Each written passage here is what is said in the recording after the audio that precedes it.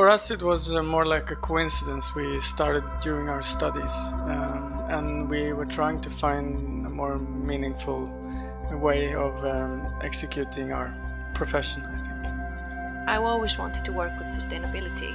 But sustainability is kind of always on the like a bound like on the the edge of something of not like being sustainability. But there it is very isolated.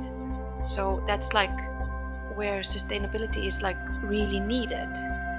They need to be self-sufficient. They make need to make their own energy and, and stuff like that. So I had like uh, had like this great opportunity to, you know, evolve in that way. That I felt there was a vacuum in the in the architecture profession for this kind of work and if we could make a network then all these people who were interested in this could join each other. So I was making a platform for this work to happen. That was my main interest or driver i suppose.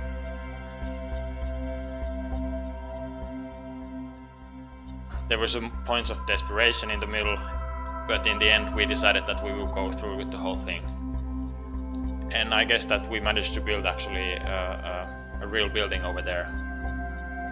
Would be uh, the biggest success story so far.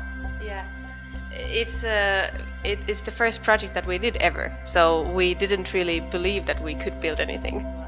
With this first prototype house, we came to a, a solution that we um, that was good good enough to try. Like we want to try these techniques with because we integrate um, a lot of techniques. Um, about uh, rainwater harvesting, also grey water cleaning, ecological sanitation, and we've also had many discussions about what uh, local materials to use. And we sort of just wanted to um, to try it in a small house first to see that it's that our, our thoughts are, are working, and then we will see now after this first uh, house.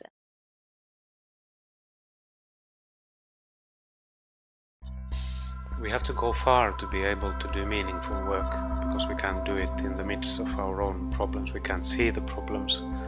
There is no problem in our society, sort of, and, uh, and they don't need to have any answers either.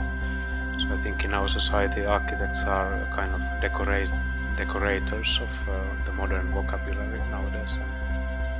Uh, but I think this question about like how well our work responds to uh, local needs is uh, is an interesting but also problematic question. That we discussed it a lot, and we um, we came to the conclusion that it's like you can't really mention it as a singular need that needs to be, uh, you know, uh, or a singular problem that needs to be resolved. But it's uh, at least a dual need. Like it's uh, it's um, always uh, some sort of physical need in the place where you go to that needs some kind of practical solution.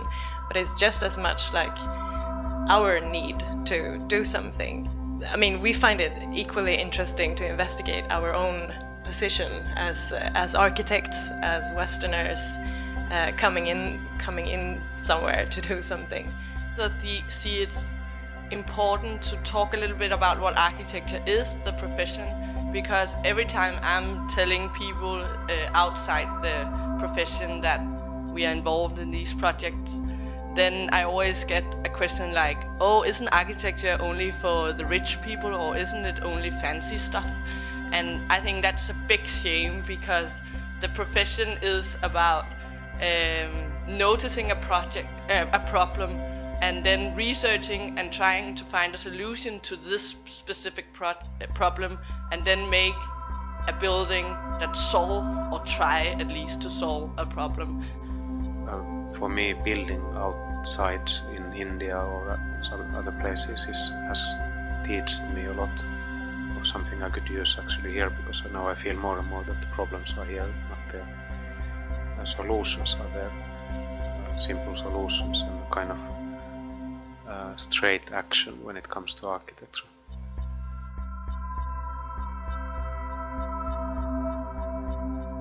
For all of us doing these projects, it's, we have to we have to be um, humble enough to, to listen to what's going on around us when we're working in the field.